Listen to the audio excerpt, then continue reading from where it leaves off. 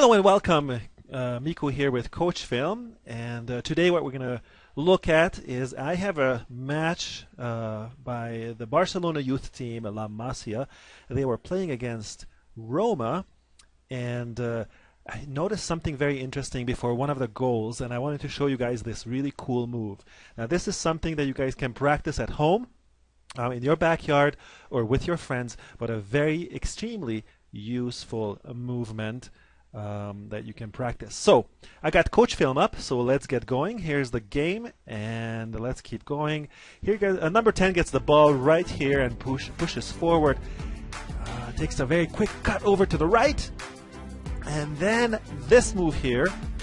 Let's just take a look at it. Moves the ball up, and then goes and scores. Beautiful goal. Nice job. Now let's just go back a little bit and see how he did that. All right, so let's go back. Here comes the ball. Here comes with the ball. Cut over to the right. And then this move right here. Again. Right here. So what he really does here, let me stop it right here. He moves the ball over to the left side with his right foot. In fact, let me switch over to edit mode. Uh, there we go. Okay, let's use yellow here. As soon as he moves it up, he kicks the ball up for a run for himself. Okay, and he's going to take about four steps to reach the ball in order for him to reach the ball right in this area. Okay, in fact, in fact, he's going to want. Let's just switch it a little bit. He is going to want to get the ball right in this area, right here. Okay, so what he does is after that move, when he moves the ball over to his left foot, he passes it up for himself.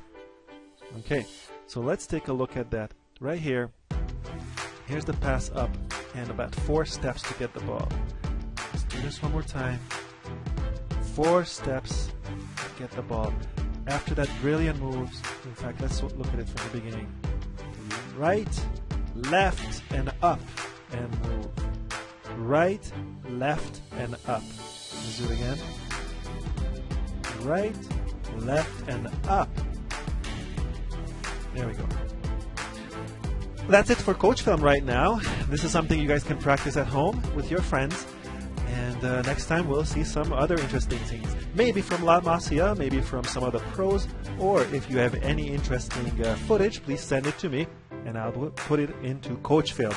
I use KoachFilm for this analysis. Thanks. See you guys later. Bye.